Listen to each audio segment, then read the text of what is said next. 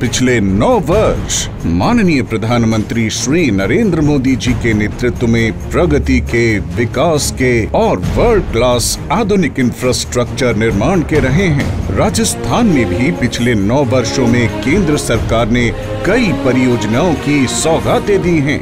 हमारी सरकार राजस्थान में आधुनिक इंफ्रास्ट्रक्चर पर सबसे अधिक बल दे रही है।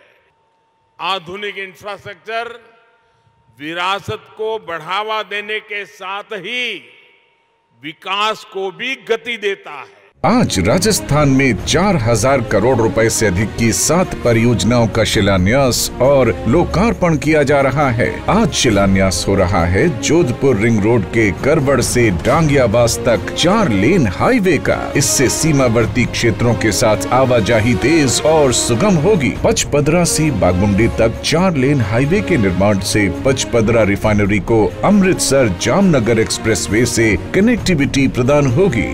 बालोतरा से सांडे राव खंड के सात कस्बों में बाईपास एवं रीअलाइनमेंट से ट्रैफ़िक का दबाव और प्रदूषण में कमी आएगी। जोधपुर एवं उदयपुर हवाई अड्डे पर नए टर्मिनल भवन के निर्माण से पर्यटकों को उन्नत यात्री सुविधाओं का लाभ मिलेगा।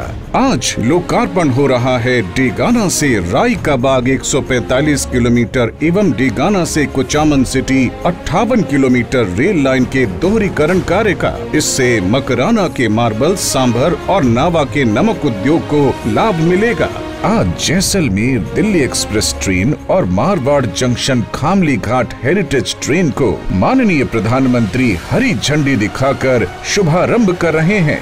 ये देशी विदेशी पर्यटकों को राजस्थान की विरासत से अवगत कराएगा। केंद्र सरकार के प्रयासों से राजस्थान तेज़ी से प्रगति पथ पर चलकर अमृत काल में नई ऊंचाइयाँ छूने को तैयार है।